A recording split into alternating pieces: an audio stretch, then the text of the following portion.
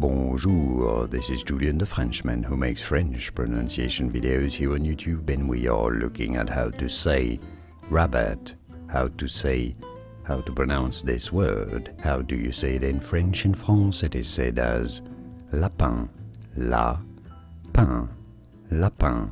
Pretty straightforward once you know lapin is rabbit in French and now you know. More videos here on how to pronounce more interesting words and names whose pronunciations aren't always obvious. I'll see you there to learn more. Thanks for watching.